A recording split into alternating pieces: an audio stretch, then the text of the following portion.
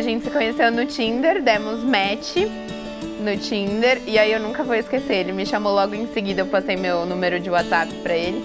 E aí ele me chamou no WhatsApp. E aí eu perguntei, né? Não tinha ó, nome, foto. Aí eu falei, oi, quem é?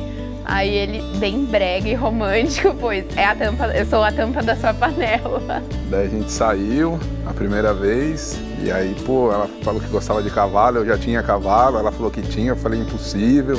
Conheci uma menina que gosta de cavalo, que tem cavalo. Falei, é isso, é essa tal. Até no dia eu falei pra ela, a gente vai casar. No primeiro dia que eu encontrei com ela, ainda eu falei, falei brincando e tal. E deu no que deu, eu nunca vou esquecer. Eu voltei, ele me deixou em casa, eu mandei pras minhas amigas. Falei, ferrou, eu tô apaixonada, eu vou casar com esse cara. E estamos aí, vamos casar.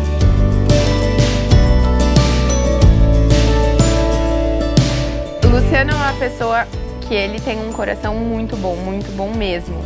Fora que eu achei ele lindo, né? Lindo e cheiroso. Ah, e Mariana, eu, o que, que eu posso falar pra você, né?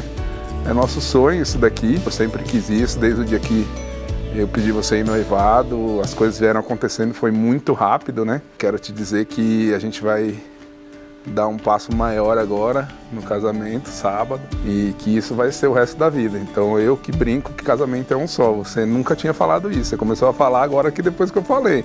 Então vamos curtir, vamos se divertir, porque é um só e a gente vai ser pro resto da vida marido e mulher. Amor, você é incrível, incrível. Muito obrigada por ter mudado a minha vida dessa forma, por ter dado sentido para muita coisa que naquele momento não tinha e por se tornar cada vez mais essa pessoa especial e presente na minha vida.